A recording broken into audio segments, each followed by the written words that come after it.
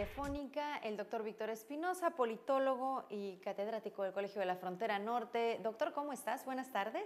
Hola, muy buenas tardes, Alejandra.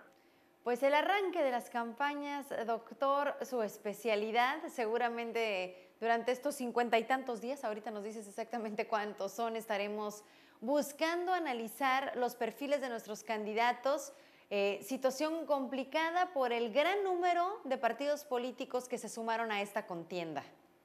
Sí, sin duda, eh, y tiene que ver también con la novedad, ¿no? Una de las novedades de esta campaña electoral que a la que se suman candidatos eh, independientes. Seguramente es la elección con mayor número de candidatos que se recuerde en la historia local de manera que eso hace pues muy complejo el, el proceso que, que, ya había arrancado, pero que hoy arrancaron formalmente las, las campañas electorales y que duran hasta el primero de junio de este año. Estamos hablando de aproximadamente 51 días de, de campañas, de vamos a ver los tonos, ¿no? Vamos a ver cómo se comporta esta cantidad de, de candidatos y sobre todo vamos a ver cómo se comporta la ciudadanía, ¿no? Frente a esta oferta sin parangón, digamos, ¿no? Y estamos hablando de que se incorporan, por ejemplo, a las alcaldías seis candidatos independientes, lo cual es una novedad en, en una elección en Baja California. Si bien el año pasado ya se hablaba de candidatos independientes en la elección federal, pues no hubo candidatos independientes a las diputaciones federales por Baja California, de manera que es la primera ocasión en que los tendremos. Tenemos todas las opciones que la ciudadanía en algún momento pudimos pedir, ¿no? Decíamos, queremos vencer el bipartidismo, o por lo menos han sido las expresiones que he escuchado a través de nuestra audiencia aquí en Visión Informativa. Eh, esto, pues definitivamente, no está la opción, vencer al bipartidismo por mucho porque hay muchas opciones de partidos políticos. Otras personas decían, ya no queremos partidos políticos, pues ahí está la opción de los candidatos independientes. Pero ¿qué tanto, doctor, eso se puede llegar a convertir en un conflicto? Porque escuchaba en perspectivas a David Mejía preguntarle a, a los panelistas que nos hacían favor de acompañarnos el día de hoy, eh, ¿quién, qué, ¿En qué distrito votas y quiénes son tus candidatos? Y pues la realidad es que en muchos de los casos eh, algunos partidos ni siquiera han dicho quiénes son sus candidatos a diputados.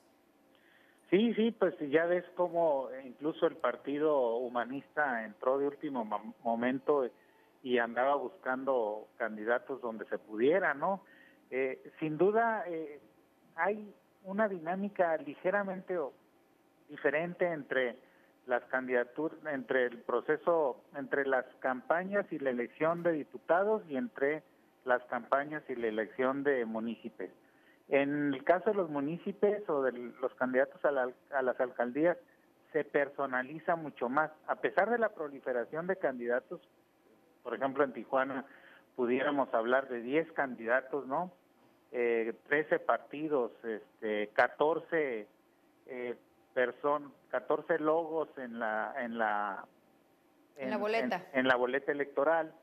A pesar de eso se personifica más porque es la lucha por una alcaldía, pero en el caso del, de los diputados hay una proliferación de son 17 distritos.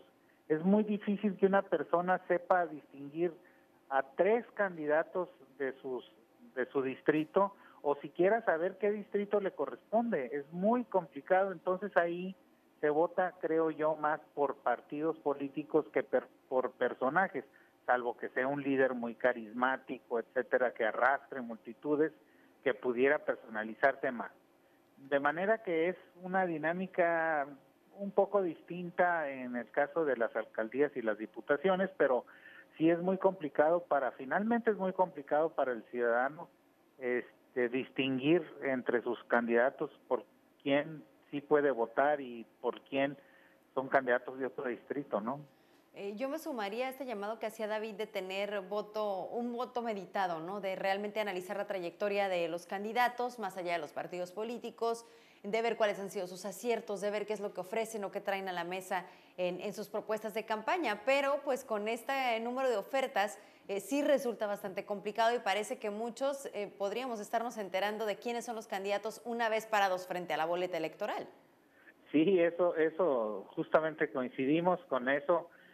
lo ideal es un voto informado, un voto razonado, eso es lo ideal de la democracia, pero es muy complicado porque además el ciudadano no tiene mucho acceso a lo que piensan los candidatos, más allá del spot, de los segundos, más allá de haberse enterado de algún, a lo mejor algún, alguno de los debates, etcétera. No tenemos eh, programas, por ejemplo, que concentren los tiempos oficiales y que nos permitan hablar de plataformas. O sea, tenemos mucho marketing, ¿no? Y, y, y poca sustancia, de manera que es muy difícil razonar el voto, salvo aquellos realmente muy interesados que se metan a las páginas de internet, que sepan bajarlas, que sepan, que se pongan a leer.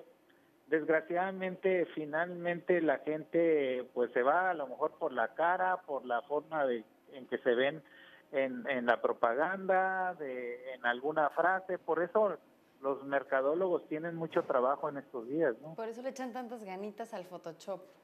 Veía.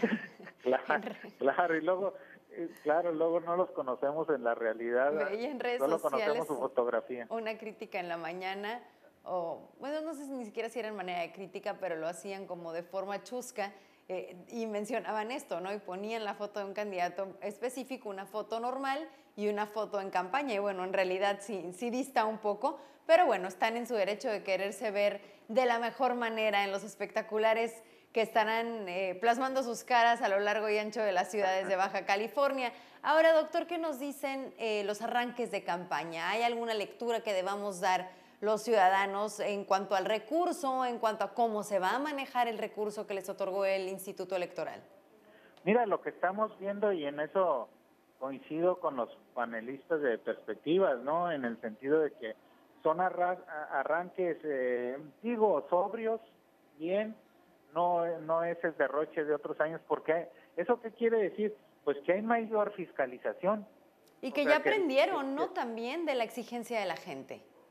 ¿Perdón? Y también no podría de, de alguna manera eh, mostrar que ya aprendieron de la exigencia de la gente y que saben que, pues que, que- que la gente ya está pendiente de lo que están haciendo. Yo creo que son las dos cosas, pero me inclinaría más a pensar en que están más vigilados y que no pueden gastarse todo el dinero en el arranque de campaña. A lo mejor en el cierre sí veremos esos eh, despliegues de antaño, pero más bien quieren hacer, y, y- y está bien, trabajo más, o tienen que hacer, aunque no quieran, trabajo más a ras del suelo, ¿no? Es decir, ir, van a tener que gastar mucho las suelas de zapatos si quieren conseguir eh, votos, por ejemplo, ¿no? Y entonces eso, pues qué bueno que haya más transparencia, qué bueno que haya más fiscalización y también se combina con lo que tú dices, es decir, que la gente está harta del dispendio, está harta de, de, del acarreo, etcétera, y que pues eso sí lo han aprendido los, los partidos. Los partidos sí están leyendo la realidad, aunque parezca que no, sí, sí leen la lo que está pasando, sí palpan y, y, y saben también que hay muchas necesidades en la en la sociedad y que los votos los van a tener que ir a buscar en, donde está el grueso de la de la población si quieren ganar por ante la, la alta competencia que hay con la cantidad de, de opciones que ahora tenemos, ¿no? Pareciera, doctor, que para algunos partidos políticos se convierte en una situación de supervivencia, de si no leen lo que la ciudadanía está pidiendo, como lo mencionas, si no alcanzan a palpar las necesidades y el hartazgo de la gente, van a desaparecer. Ya Van no a perder estamos su en los registro, es un porcentaje alto el que necesitan, 3%, y seguramente para algunos será debut y despedida, sobre todo para los nuevos partidos que la tienen muy complicada y que no, no funcionan como antes las alianzas, ¿no? A- prueba de ello es que solo hay una, una alianza, antes se metían los partidos pequeños en las alianzas para lograr su supervivencia, pero ahora esto ya no existe y entonces tienen que buscar votos de donde sea para tratar de sobrevivir. Eso pues es, eso sí es positivo, digamos, ¿no?